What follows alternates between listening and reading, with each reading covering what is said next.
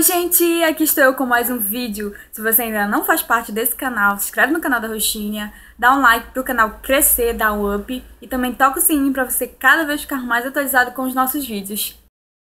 Bem, amores, o vídeo de hoje está muito legal. Uh, você que é pedagogo, você que é psicólogo, você que é... Ai, meu Deus.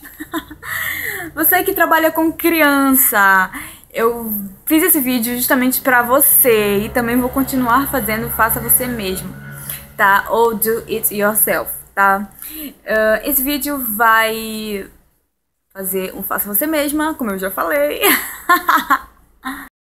E no Faça Você Mesmo, eu quero transmitir a conscientização do meio ambiente. Eu vou trabalhar com materiais que poderiam ser jogados fora, descartados, mas não. Vamos reutilizar e vamos fazer um brinquedo, tanto para as crianças quanto para as pessoas que querem decorar a casa, enfim, qualquer parte da sua casa, tá? Vai servir. Mas eu quero transmitir essa conscientização a você. Não é só fazer um, é, é, um faça você mesmo, um do it yourself, não. É conscientizar mesmo, tá bom? Então vamos lá, vamos parar de falar e vamos à obra.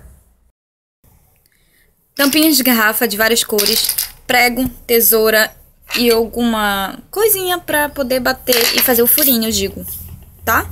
Aqui eu já fiz os furinhos e aí vamos começar.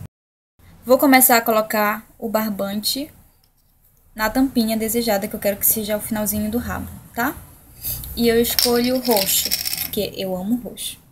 E com o prego eu vou colocar o barbante, tá? E eu vou encaixando todas as outras tampinhas até formar o corpo da cobra. Vai ficar dessa forma aqui, gente, tá? E daí nós vamos pegar e colar onde? Aqui na cabecinha. E assim nós finalizamos a nossa cobra, que tá parecendo uma minhoca, mas tudo bem. a criança usa sua imaginação. Aqui é o rostinho, que eu mostrei pra vocês. Faz o olhinho, depois o rabinho, tá?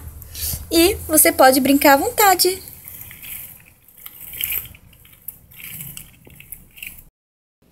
Oi, gente! E não se esqueça de se inscrever no canal, toca o sininho para você ficar mais atualizado e comenta aqui embaixo se você gostou e ideias mais criativas para o canal.